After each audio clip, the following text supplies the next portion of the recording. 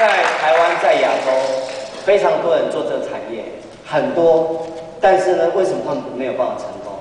因为他们不认真看待这件事情。In Asia, include Taiwan, a lot of people they have the dream and they join MLM company. But how come many of them they can't be success? Why? Because they don't even they don't understand how they should treat this business. 因为在于观念跟心态。It's because of their attitude and perspective. 呃，想请教各位朋友，有开过公司或开过店的，请举手。I uh, anybody who have your own shop or your own company can please raise your hand now. You have your own company. OK，Thank、you。Thank you. 你们会随随便便就是一家店开了之后没有生意、没有业绩，就随便把它关门关掉吗？